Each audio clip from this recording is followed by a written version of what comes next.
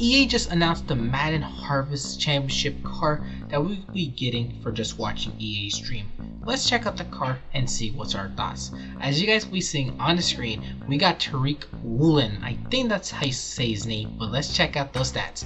He has 92 speed, 91 acceleration, 85 agility, 90 jumping, 85 play rec, 92 man, 90 zone, and 91 press. This is all out a complete corner that'll be dropping in the game next week. This card looks completely juiced and it should be the very first card that we get for the Harvest promo, which normally drops around next week because usually the Harvest promo is two to three week promo.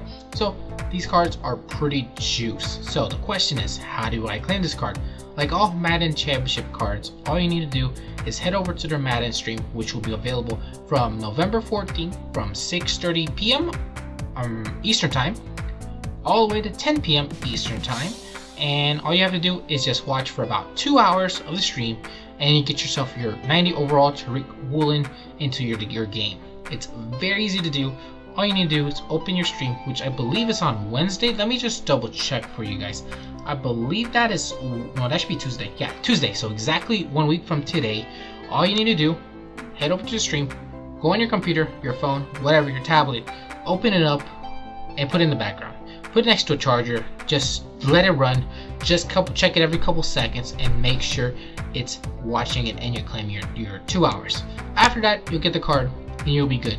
An amazing card, really good for the no money spent guys.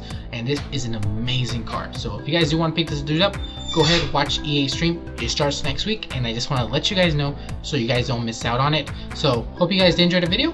Make sure to hit the like button down below. Subscribe. Let me know if you guys can't wait to pick up this guy on your team. Because if you get any free card in Madden, it's always dub. I'll see you guys next time.